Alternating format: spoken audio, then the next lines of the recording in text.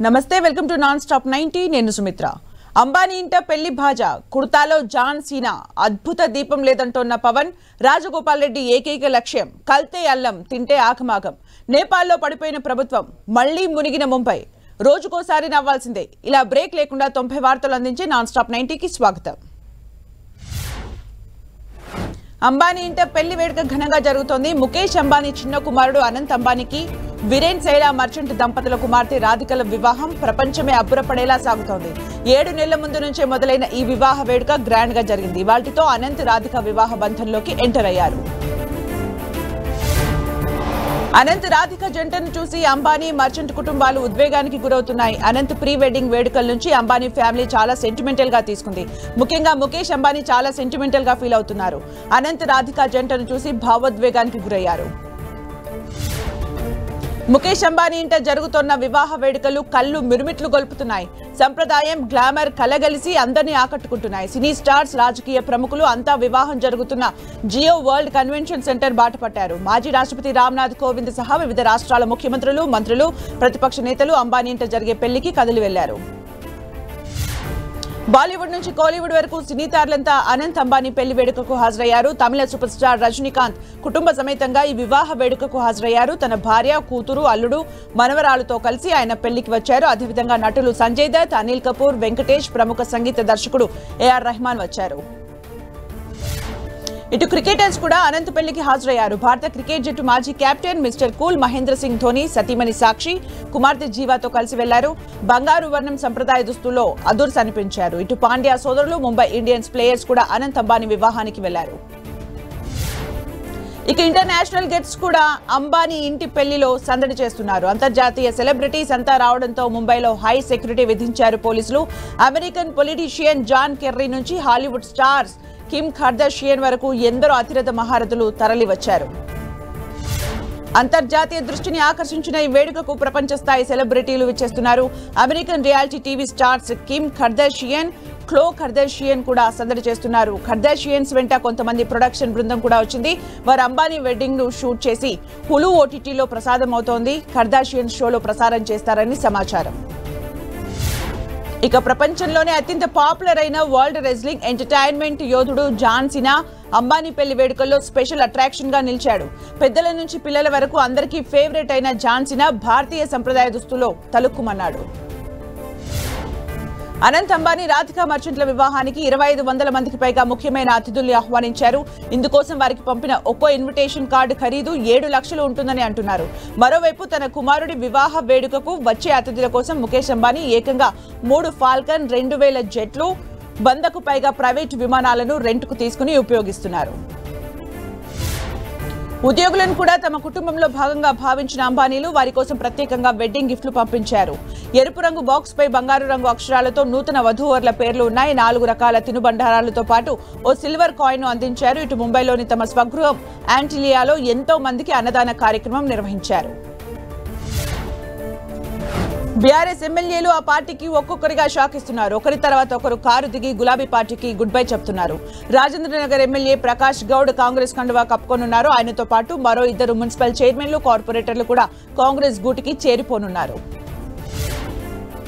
కాంగ్రెస్లో చేరికలు కంటిన్యూగా సాగుతున్నాయి. మరికొందరు బీఆర్ఎస్ నేతలు కూడా కాంగ్రెస్ కండువా కప్పుకునేందుకు సిద్ధమవుతున్నారు. జీహెచ్ఎంసీ పరిధిలోని పలువురు బీఆర్ఎస్ నేతలు గాంధీభవన్ టీంలో చేరేందుకు రంగం సిద్ధం చేసుకున్నట్టు తెలుస్తోంది. ఈ వారంలోనే వీరంతా గులాబీ పార్టీకి గుడ్ బై చెప్పి హస్తం పార్టీలో చేరనున్నారు.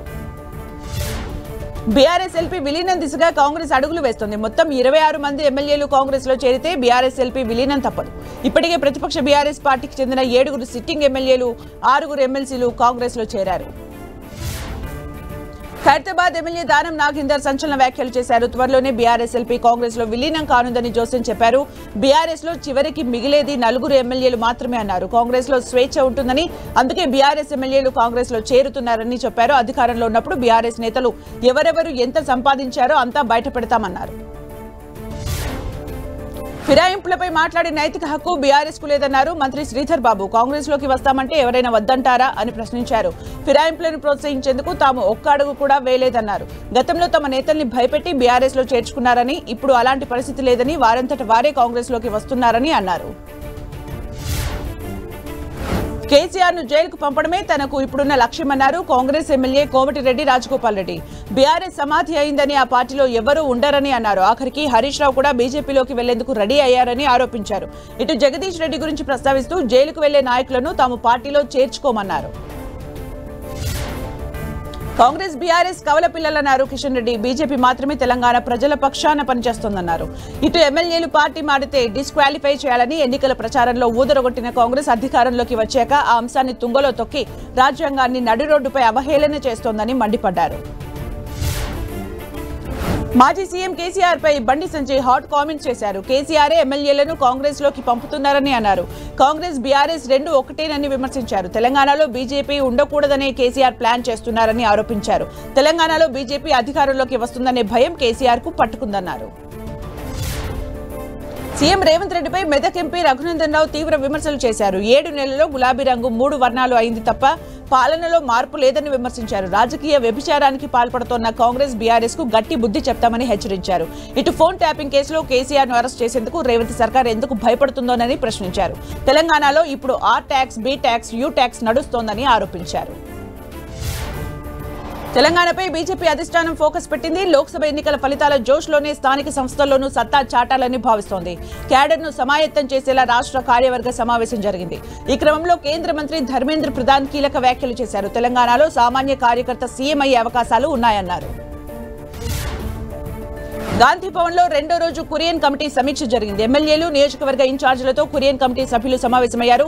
ఇన్ఛార్జీలకు బాధ్యతగా వ్యవహరించకపోవడం వల్లనే కాంగ్రెస్కు అనుకున్న ఫలితాలు రాలేదని కమిటీకి తెలిపారు కొందరు నేతలు. ఈ నెల ఇరవై ఒకటిన ఏసీసీకి కురియన్ కమిటీ రిపోర్ట్ ఇవ్వనుంది.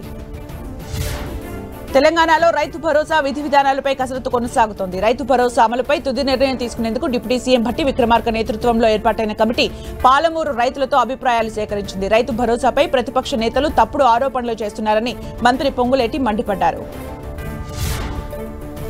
ఈ నెల పదహారున కలెక్టర్లు ఎస్పీలతో సీఎం రేవంత్ రెడ్డి కీలక సమావేశం నిర్వహించనున్నారు. ఉదయం నుంచి సాయంత్రం వరకు సుదీర్ఘంగా తొమ్మిది అంశాలపై చర్చించనున్నారు.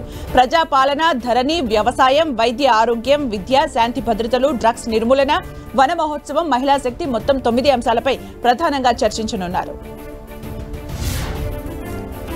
ఈ నెల ఇరవై నాలుగు నుంచి తెలంగాణ అసెంబ్లీ సమావేశాలు జరగనున్నాయి. బడ్జెట్ సమావేశాలను జులై ఇరవై నాలుగు నుంచి ప్రారంభించాలని ప్రభుత్వం నిర్ణయించింది. తెలంగాణ స్పీకర్ గడ్డం ప్రసాద్ కుమార్ మండలి చైర్మన్ వివిధ శాఖల అధికారులతో అసెంబ్లీ నిర్వహణపై సమీక్ష నిర్వహించారు. అసెంబ్లీ సమావేశాల సందర్భంగా అధికారులు తీసుకోవాల్సిన చర్యలపై సమీక్షలో చర్చించారు. గత ప్రభుత్వం వ్యవస్థలను నిర్వీర్యం చేసిందని మండిపడ్డారు AP deputy CM Pawan Kalyan. పంచాయతీల్లో చాలా సవాళ్ళున్నాయని బ్లీచింగ్ పౌడర్ చల్లేందుకు కూడా నిధులు లేవని అన్నారు. తమ దగ్గర అల్లావుద్దీన్ అద్భుత దీపం ఏమీ లేదని ఒక్కో రోజులో పంచాయతీల దుస్థితిని మార్చలేమన్నారు. దశల ఇసుక నీటి వనరుల్ని అభివృద్ధి చేసేలా చర్యలు చేపడతామన్నారు. ఏపీ సీఎం చంద్రబాబు సచివాలయానికి వెళ్తున్న సమయంలో తన నివాసం దగ్గర సమస్యలతో వచ్చిన వారిని చూసి రోడ్డుపైన కాన్వాయ్ ఆపి పలకరించారు. వారి సమస్యలు తెలుసుకుని పరిష్కారానికి హామీ ఇచ్చారు. ఇటు మావోయిస్టుల చేతిలో హతమైన మాజీ ఎమ్మెల్యే శివిరి సోము భార్య కూడా కలిశారు. వారి పిల్లల చదువు బాధ్యత చంద్రబాబు తీసుకున్నారు. మాజీ సీఎం జగన్ పై గుంటూరులోని నగరంపాలెం పోలీస్ స్టేషన్లో కేసు నమోదైంది. టీడీపీ ఎమ్మెల్యే రఘురామకృష్ణరాజు ఫిర్యాదుతో పోలీసులు కేసు నమోదు చేశారు. జగన్తో పాటు సిఐడి మాజీ డీజీ సునీల్ కుమార్ పై కేసు నమోదైంది. వైసీపీ ప్రభుత్వ హయాంలో తనను అరెస్టు చేసి తనపై హత్యాయత్నం చేశారని ఫిర్యాదు చేశారు రఘురామకృష్ణరాజు. బస్సుల్లో మహిళలకు ఉచిత ప్రయాణం హామీని చంద్రబాబు సర్కార్ ఎందుకు అమలు చేయడం లేదో చెప్పాలని డిమాండ్ చేశారు AP Congress chief YS Sharmila. అధికారంలోకి వచ్చి నెల రోజులు అవుతున్నా హామీని ఎందుకు నిలబెట్టుకోవడం లేదని నిలదీశారు. తెలంగాణలో రెండో రోజే దీన్ని అమలు చేశారని ఈ పథకం అమలుకు ఇంత సమయం ఎందుకు పడుతుందో అర్థం కావడం లేదని అన్నారు. కేంద్ర ప్రభుత్వం కీలక నిర్ణయం తీసుకుంది. పంతొమ్మిది వందల డెబ్బై ఐదు జూన్ ఇరవై ఐదున ఎమర్జెన్సీని ఆనాటి ప్రధాని ఇందిరాగాంధీ ప్రకటించారు. ఆ రోజును నిరసిస్తూ కేంద్రం ప్రతి ఏడాది జూన్ ఇరవై ఐదున సంవిధాన్ హత్య దివాస్ను పాటించాలని నిర్ణయించింది. ఈ నిర్ణయంపై కాంగ్రెస్తో సహా విపక్ష నేతలు మండిపడుతున్నారు.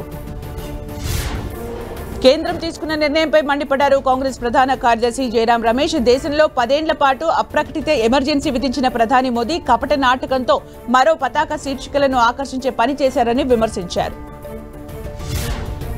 బీజేపీ నేత స్మృతి ఇరానీకి మద్దతుగా నిలిచారు రాహుల్ గాంధీ. ఎన్నికల ఫలితాలు వెలువడ్డాక స్మృతి ఇరానీని దూషిస్తూ సోషల్ మీడియాలో కొందరు పోస్టులు పెడుతున్నారు. దీంతో ఆమెకు మద్దతుగా నిలిచారు రాహుల్. జీవితంలో గెలుపోటములు వస్తుంటాయని అలాగని ఒకరిని కించపరచడం అవమానించడం సరికాదన్నారు. పైగా అది బలహీనత అవుతుందే తప్ప బలం అనిపించుకోదన్నారు.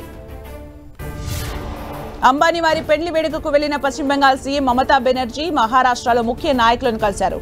ముందుగా ఉద్దవ్ ఠాక్రేను కలిశారు. అనంతరం ఎన్సీపీ నేత శరద్ పవార్తో భేటీ అయ్యారు. వీరంతా తాజా పరిస్థితులు జాతీయ రాజకీయాలపై చర్చించారు. ఇటు ఎస్పీ చీఫ్ అఖిలేష్ యాదవ్తో భేటీ అయ్యారు. తాను సీఎం కావడం కొందరు బీజేపీ నేతలకు ఇష్టం లేదని అందుకే అసత్య ఆరోపణలు చేస్తున్నారని ఆరోపించారు కర్ణాటక ముఖ్యమంత్రి సిద్దరామయ్య మైసూర్ అర్బన్ డెవలప్మెంట్ అథారిటీలో జరిగిన అవినీతిపై విచారణ జరుగుతోందన్నారు. తనపై లేనిపోని ఆరోపణలు చేయడం సరికాదన్నారు. ఇక తన భార్యకు ఖచ్చితంగా పరిహారం అందించాల్సిందే అన్నారు. మండి ఎంపీ కంగనా రనౌత్ మరో వివాదంలో చిక్కుకున్నారు. తనను కావాలంటే ఆధార్ కార్డుతో రావాలని ఆమె ప్రకటించారు. మండికి ఎందరో పర్యాటకులు వస్తుంటారని అందుకే తనకు సమస్యలు తెలియజేయాలనుకున్న వారు ఆధార్ కార్డు వెంట తెచ్చుకోవాలని చెప్పారు. దీనిపై కాంగ్రెస్ నేత విక్రమాదిత్య స్పందించారు. ప్రజాప్రతినిధులుగా ఇలా ఐడి అడగడం సరికాదన్నారు. కవితపై పెట్టిన Delhi liquor policy CBI case విచారణ మరోసారి వాయిదా పడింది. కవిత పాత్రపై సీబీఐ దాఖలు చేసిన ఛార్జ్ షీట్ను పరిగణలోకి తీసుకునే అంశం కవిత డిఫాల్ట్ బెయిల్పై జులై జూలై ఇరవై రెండున విచారణ జరుపుతామని రౌస్ అవెన్యూ కోర్టు తెలిపింది. అయితే సీబీఐ ఛార్జ్ షీట్లో తప్పులున్నాయని కవిత తరపు లాయర్ లేవని సీబీఐ వాదించింది. ఢిల్లీ సీఎం అరవింద్ కేజ్రీవాల్కు సుప్రీంకోర్టులో ఊరట లభించింది. ఈడీ కేసులో మధ్యంతర బెయిల్ మంజూరు చేసింది. అనారోగ్య కారణాల రీత్యా సంజీవ్ ఖన్నా ధర్మాసనం బెయిల్ మంజూరు చేసింది. అలాగే అరెస్ట్ అక్రమం అంటూ కేజ్రీవాల్ పిటిషన్ను విస్తృత ధర్మాసనానికి బదిలీ చేసింది. అయితే సీబీఐ కేసు నేపథ్యంలో ఆయన మరికొన్ని రోజులు జైల్లోనే ఉండాల్సి ఉంది. ఇటు లిక్కర్ పాలసీ సిబిఐ కేసులో కేజ్రీవాల్ కస్టడీని పొడిగించింది రౌస్ రెవెన్యూ కోర్టు. దీంతో కేజ్రీవాల్ మరికొన్ని రోజులు జైల్లోనే ఉంటున్నారు ఢిల్లీ లిక్కర్ స్కామ్లో కేజ్రీవాల్ మనీష్ సిసోడియా ఎమ్మెల్సీ కవిత కీలక వ్యక్తులని ఈడీ వాదిస్తోంది. ముంబైని మరోసారి భారీ వర్షం ముంచెత్తింది. తెల్లవారుజామున కురిసిన కుండపోత వర్షానికి నగరం స్తంభించిపోయింది. రోడ్లన్నీ నీట మునిగాయి. ట్రాఫిక్కు తీవ్ర అంతరాయం ఏర్పడింది. లోతట్టు ప్రాంతాల్లోని ఇళ్ళలోకి నీరు చేరడంతో ప్రజలు తీవ్ర అవస్థలు పడుతున్నారు. పలు కాలనీల్లో మోకాల్లోతు నీరు చేరింది. గడిచిన ఇరవై నాలుగు గంటల్లో ముంబైలో సగటున తొంభై మూడు మిల్లీమీటర్లు శివారు ప్రాంతాల్లో అరవై ఆరు మిల్లీమీటర్ల నుంచి డెబ్బై ఎనిమిది మిల్లీమీటర్ల వర్షపాతం నమోదైనట్లు అధికారులు తెలిపారు. దీంతో రోడ్లన్నీ పూర్తిగా నీట మునిగాయి. ట్రాఫిక్ తీవ్ర అంతరాయం ఏర్పడింది. కుండపోత వర్షానికి నగరం చాలాసేపు ఎక్కడికక్కడ స్తంభించిపోయింది. మరోవైపు ముంబైలో రెండు రోజుల పాటు భారీ వర్షాలు పడే అవకాశం ఉందని భారత వాతావరణ శాఖ హెచ్చరించింది. ఈ మేరకు ఆరెంజ్ అలర్ట్ జారీ చేసింది. వాతావరణ శాఖ హెచ్చరికలతో ముంబై అధికారులు అప్రమత్తమయ్యారు. ప్రజలు అత్యవసరమైతే తప్ప బయటకు రావద్దని సూచించారు. వర్షం కారణంగా ముంబై విమాన సర్వీసులకు సైతం తీవ్ర అంతరాయం ఏర్పడింది. దట్టమైన మేఘాలు ఆవరించడంతో విజిబిలిటీ పడిపోయింది. దీంతో ముంబై విమానాశ్రయానికి రాకపోకలు సాగించే పలు విమానాలపై తీవ్ర ప్రభావం పడినట్లు అధికారులు తెలిపారు. ఇండిగో విమానయాన సంస్థ ప్రయాణికులను అలర్ట్ చేసింది. దేశంలో వరుస పిడుగుపాటు మరణాలు ఆందోళన కలిగిస్తున్నాయి. మూడు రోజుల క్రితం బీహార్లో పిడుగుపాటు కారణంగా పన్నెండు మంది ప్రాణాలు కోల్పోగా బుధవారం ఉత్తరప్రదేశ్లో ముప్పై ఎనిమిది మంది చనిపోయారు. ఇప్పుడు బీహార్లో ఐదుగురు మృత్యువాత పడ్డారు. సుమారు పద్దెనిమిది మంది విద్యార్థులు గాయాల పాలయ్యారు. బద్రీనాథ్ హైవేను అధికారులు మూసివేశారు. దీంతో మార్గ మధ్యలో మూడు వేల మంది ప్రయాణికులు చిక్కుకుపోయారు. జోషిమఠ్ దగ్గర కొండ చర్యలు విరిగిపడటంతో బద్రీనాథ్ హైవేని వరుసగా మూడు రోజుల పాటు పోలీసులు మూసివేశారు. దీంతో రాకపోకలకు తీవ్ర అంతరాయం ఏర్పడింది. ప్రయాణికులను ఎస్డీఆర్ఎఫ్ ఎన్డీఆర్ఎఫ్ బృందాలు సురక్షితంగా తరలించారు. గుజరాత్లోనూ వానలు ముంచెత్తుతున్నాయి. వల్సాద్లో కుండపోత వాన కురడంతో రహదారులన్నీ జలమయమయ్యాయి. హైవేపై మోకాలి లోతు నీరు చేరడంతో వాహనాల రాకపోకలకు తీవ్ర అంతరాయం ఏర్పడింది. భారీ వాహనాలు మెల్లిగా కదలటంతో భారీగా ట్రాఫిక్ జామ్ అయింది. ఉత్తరప్రదేశ్ గోరఖ్పూర్ మొత్తం చెరువును తలపిస్తోంది. ఇటీవల కురిసిన భారీ వానలకు తపత్తి నది ఉధృతంగా మారింది. నది నీళ్ళన్నీ సమీప గ్రామాల్ని ముంచెత్తాయి. దీంతో జనజీవనం మొత్తం స్తంభించిపోయింది. ఇళ్ళలోకి నీరు చేరడంతో పడవల సాయంతో వారిని సురక్షిత ప్రాంతాలకు తరలించారు అధికారులు. తెలంగాణలో మరో ఐదు రోజులు భారీ వర్షాలు పడతాయని వాతావరణ కేంద్రం తెలిపింది. ఇప్పటికే హైదరాబాద్ను భారీ వాన ముంచెత్తింది. పలు జిల్లాలను కూడా కుండపోత వానలు భయపెడుతున్నాయి. ఇక కొన్ని ప్రాంతాల్లో ఉరుములు మెరుపులు ఈదురుగాలులతో కూడిన వానలు కురుస్తాయని ఎల్లో అలర్ట్ జారీ చేసింది.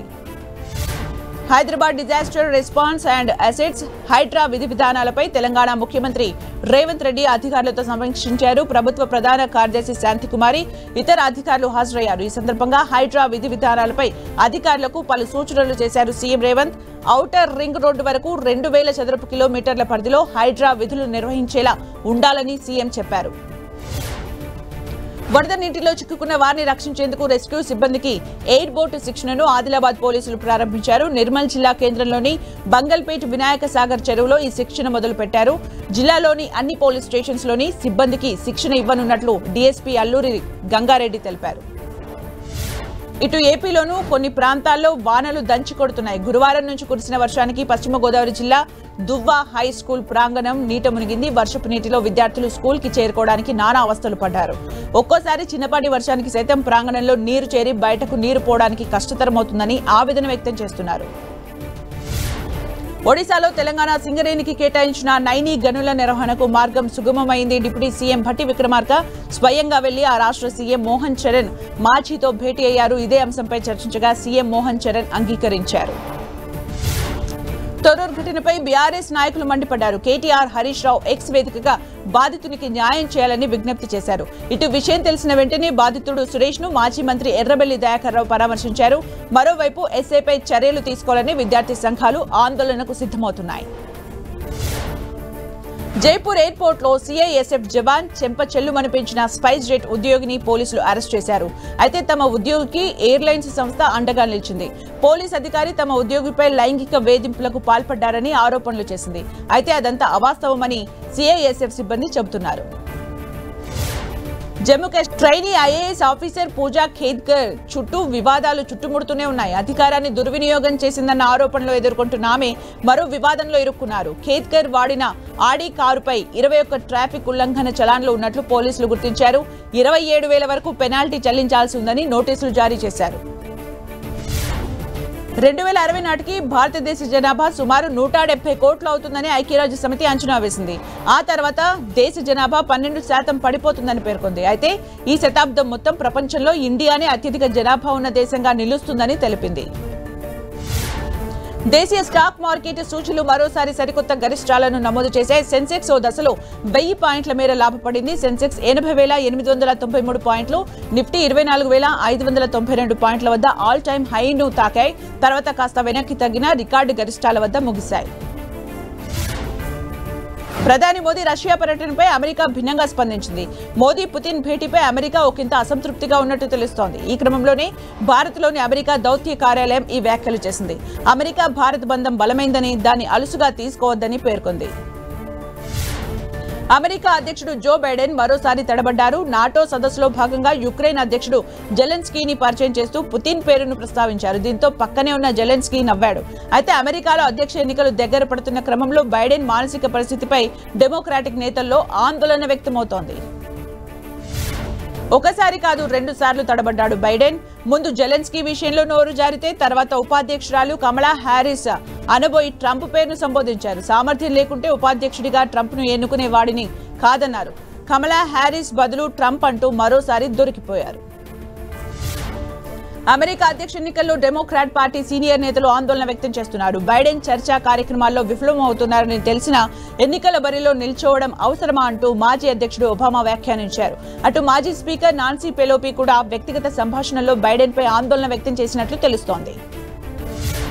మరోవైపు తన మానసిక పరిస్థితిపై అధ్యక్షుడు బైడెన్ ఆసక్తికర వ్యాఖ్యలు చేశారు. ఆరోగ్యంగా ఉన్నానని రుజువు చేసుకోవడానికి ఎలాంటి వైద్య పరీక్షలకైనా సిద్ధంగా ఉన్నానని తేల్చి చెప్పారు. అవసరమైతే మరోసారి న్యూరోలాజికల్ టెస్టులు చేయించుకోవడానికి కూడా రెడీగా ఉన్నామన్నారు. అయితే తన తడబాటుపై సొంత పార్టీ నేతలే వ్యతిరేకించడంపై బైడెన్ ఈ వ్యాఖ్యలు చేశారు. నేపాల్ రాజకీయాల్లో కీలక పరిణామం చోటు చేసుకుంది. శుక్రవారం పార్లమెంట్లో ప్రభుత్వంపై పెట్టిన అవిశ్వాస తీర్మానంలో ప్రధానమంత్రి పుష్ప కమల్ దహల్ ప్రచండ ఓడిపోయారు. Communist party of Nepal unified Marxist lieutenant ప్రభుత్వానికి తమ మద్దతును ఉపసంహరించుకోవడంతో ప్రచండ విశ్వాస తీర్మానాన్ని కోల్పోయారు. రష్యాలో సంతానోత్పత్తిని పెంచడానికి అక్కడి అధికారులు వినూత్న చర్యలు చేపడుతున్నారు. అందులో భాగంగా దేశ వాయువ్య ప్రాంతంలోని రిపబ్లిక్ ఆఫ్ కరేలియా అధికారులు ఒక వినూత్న ఆఫర్ను ప్రకటించారు. స్థానిక యూనివర్సిటీ కాలేజెస్లో చదివే ఇరవై ఐదేళ్ళలోపు యువతులు ఆరోగ్యవంతమైన బిడ్డకు జన్మనిస్తే వారికి తొంభై రెండు వేలు బహుమతిగా ఇస్తామని ప్రకటించారు. నవ్వడం ఆరోగ్యానికి మంచిదంటారు. ఈ క్రమంలోనే జపాన్ ప్రభుత్వం వినూత్నంగా ఓ చట్టం తీసుకొచ్చింది. ప్రతిరోజు ప్రజలందరూ నవ్వాలని లాఫింగ్ లాని తీసుకొచ్చింది. ఈ మేరకు ఆర్డినెన్స్ జారీ చేసింది దేశ పౌరుల శారీరక మానసిక ఆరోగ్యం కోసమే నిర్ణయం తీసుకున్నట్లు తెలిపింది. హీరో రాజ్ తరుణ్ కేసులో నార్సింగి పోలీసులు దర్యాప్తు ముమ్మరం చేశారు. Raj Tarun triangle love story కేసులో దర్యాప్తు ముమ్మరం చేసిన పోలీసులు లావణ్య ఇచ్చిన ఆధారాల్ని వెరిఫై చేస్తున్నారు. ఈ కేసులో రాజ్ తరుణ్కు ఫార్టీ వన్ సిఆర్పిసి ప్రకారం నోటీసులు ఇచ్చి విచారించే అవకాశం ఉన్నట్లు పలువురు న్యాయవాదులు తెలిపారు. రాజ్ తరుణ్ పై పెట్టిన కేసులు వెనక్కి తీసుకోవాలంటూ తనను బెదిరిస్తున్నారని లావణ్య ఆరోపించింది. కేసును వాపస్ తీసుకుంటే ఐదు కోట్లు ఇస్తామంటే చెబుతున్నారని లావణ్య తెలిపింది. మరోవైపు రాజ్ తరుణ్ తోనే జీవితాంతం ఉండాలని లావణ్య కోరుకుంటుంది. తిరుమల శ్రీవారి అన్న ప్రసాదాన్ని మరింత రుచిగా శుచిగా అందించేందుకు టీటీడీ రంగం సిద్ధం చేసింది. తరిగొండ వెంగమాంబ అన్న ప్రసాద వితరణ కేంద్రాన్ని ఆధునీకరించాలని నిర్ణయించింది. గత ఐదేళ్ళలో భక్తుల నుంచి వచ్చిన విమర్శలు పునరావృతం కాకుండా పూర్తిస్థాయి ప్రక్షాళనకు తిరుమల ఈవో శ్యామలారావు కార్యాచరణ సిద్ధం చేశారు. బస్సులో ప్రయాణికుల చిల్లర కష్టాలకు టీజీఆర్టీసీ చెక్ పెట్టనుంది. త్వరలోనే బస్సుల్లో యూపీఐ చెల్లింపులు చేసేలా చర్యలు తీసుకుంటోంది. దీనికోసం ప్రత్యేక మిషన్లను అందుబాటులోకి తెస్తోంది. మరోవైపు మహిళలకు స్మార్ట్ కార్డులు కూడా జారీ చేయనుంది. నగరంలో మెట్రో రైల్ రెండో దశలో ప్రతిపాదిత ఎల్బీ నగర్ హయత్ నగర్ మార్గంలో ఆరు స్టేషన్లు రాబోతున్నాయి. దాదాపు ఏడు కిలోమీటర్ల దూరం ఉండే ఈ మార్గంలో సగటున కిలోమీటర్కు కాస్త అటు ఇటుగా ఒక స్టేషన్ను ప్రతిపాదించారు. జాతీయ రహదారి కావడం కొన్ని చోట్ల ఫ్లైఓవర్ల నిర్మాణం జరుగుతున్న దృష్ట్యా మెట్రో స్టేషన్లు నిర్మించే ప్రాంతాలపై జాగ్రత్తలు తీసుకుంటున్నారు. సఫీల్గూడ లేక్ పార్క్లో ఆకస్మికంగా తనిఖీ చేశారు. నగర మేయర్ విజయలక్ష్మి కమిషనర్ ఆమ్రపాలి. పార్క్లో ఉన్న సమస్యలు మేయర్ దృష్టికి రావడంతో కమిషనర్ ఆమ్రపాలి జీహెచ్ఎంసీ అధికారులు జోనల్ కమిషనర్ కార్పొరేటర్తో కలిసి తనిఖీ చేశారు. సమస్యల పరిష్కారానికి హామీ ఇచ్చారు. హైదరాబాద్ రవీంద్ర భారతిలో కురుగంటి కళాక్షేత్రం వార్షికోత్సవం ఘనంగా జరిగింది. ఇరవై ఏడవ వార్షికోత్సవం సందర్భంగా చిన్నారులు ప్రదర్శించిన శ్రీరామ జయం రామదాసు విజయం పేరుతో చేసిన నృత్యం అందరినీ అలరించింది. ఈ కార్యక్రమానికి ముఖ్య అతిథిగా రాజ్యసభ సభ్యులు లక్ష్మణ్ పాల్గొన్నారు. Reality organisation confederation of real estate developers association of India CREDAI వచ్చే నెలలో మూడు ప్రాపర్టీ షోలను నిర్వహిస్తున్నట్లు ప్రకటించింది. అన్ని ఆస్తుల వివరాలను ఒకే చోట అందించేలా ఈ ప్రాపర్టీ షోలను నిర్వహిస్తున్నట్లు క్రీడా హైదరాబాద్ ప్రెసిడెంట్ రాజశేఖర్ రెడ్డి తెలిపారు. హైదరాబాద్లో రియల్ ఎస్టేట్ వ్యాపారం జోరుగా సాగుతోందన్నారు. ఫిల్మ్ఫేర్ అవార్డ్స్లో ట్రిపుల్ ఆర్ మూవీ సత్తా చాటింది. ఏకంగా ఆరు అవార్డులు స్వాధించింది. అరవై ఎనిమిదవ ఫిల్మ్ఫేర్ అవార్డుల్లో ఉత్తమ చిత్రం ఉత్తమ నటుడు ఉత్తమ దర్శకుడు కేటగిరీతో పాటు మొత్తం ఎనిమిది అవార్డులను కైవసం చేసుకుంది. ఇటు విరాట పర్వం నుంచి సాయి పల్లవి నందితా దాస్ కూడా అవార్డుకు ఎంపికయ్యారు.